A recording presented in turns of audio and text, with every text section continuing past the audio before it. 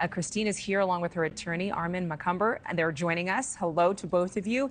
Christine, first tell us why it escalated to the level where police were called. Did somebody go in to the restroom after you and complain? Did the manager attempt to talk to you while you were helping your son use the bathroom?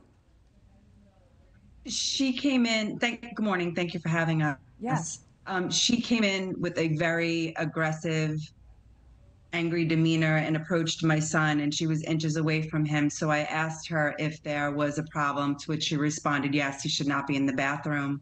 I then explained that he was disabled and she kind of stood her ground and didn't care and kind of said you know uh, a grown man or a boy should not be in the women's bathroom uh, then she shouted out, um, "This is not a transgender bathroom." And I, I also had asked for a superior or a manager at that point because I knew I was dealing with somebody that wasn't able to have an intelligent conversation with me regarding my son being disabled and needing to use the bathroom with me. Um, and she told me I was getting kicked out. I was surrounded by armed security. I know one security guard had a gun on him. My son was watching this, and then she called the police department. Um, and they explained that this was a private entity, and unfortunately, they had a right to um, ask me to leave.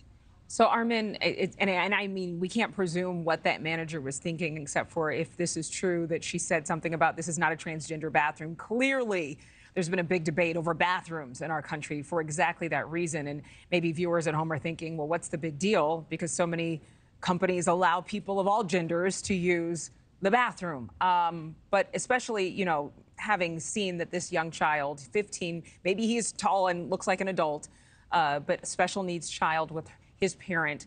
Uh, how do you explain this as discrimination?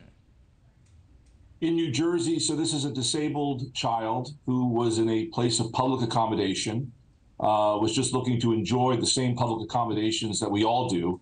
And in New Jersey, if you if you're a member of a protected class, if you have a disability, in this situation. You cannot be denied uh, the right to that public accommodation. That's a violation of our law against discrimination. So he went there.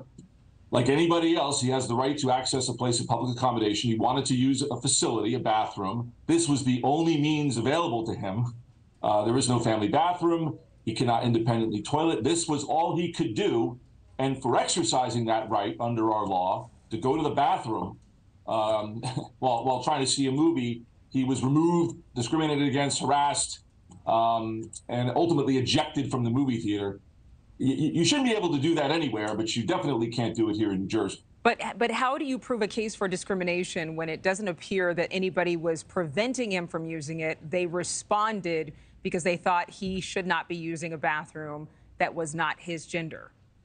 Well, I think, well, first of all, that's a distinction without a difference, number one. Number two, anyone with ordinary vision and intelligence uh, when they encountered this situation. I could understand if the manager had a question, uh, but once it became clear to the manager, and it should have been clear to anybody, it was clear to people in the bathroom at the time uh, that this was a child with a disability.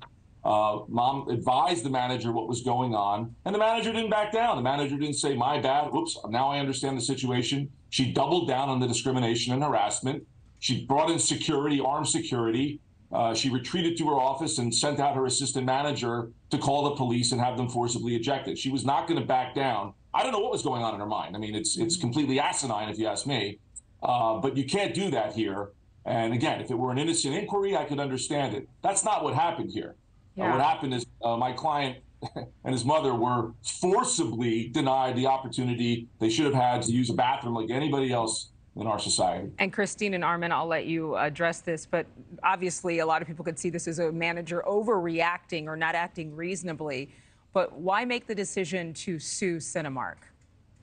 Well, I mean, I'll, I'll let mom answer that. I will say this is a person, is a manager who has been trained purportedly, supposedly, to effectuate the policies and procedures um, that Cinemark has in place uh, to allow anybody, including those with disabilities, uh, to access places of public accommodation. That obviously, you know, that obviously did not happen here. Right, right, right. So, let's let's let Christine speak before we have sure. to go to commercial break. I apologize. Sure, sure. Re- real quick, I want to make one point. We've been going to this theater for 12 years. My husband normally takes my son, and we go into the men's bathroom. My go-to at this point in the stage of his development is absolutely a family bathroom. I've been to many facilities, even in the last month, Ruth Chris, Newark Airport, smack in the middle of a men's and women's bathroom is a family bathroom. So if I did something wrong because Cinemark doesn't have a family bathroom, I want to know what I should have done in that situation. And I'm speaking for many millions of families that have disabled people in their home, uh, in their in their families that can't use bathrooms independently.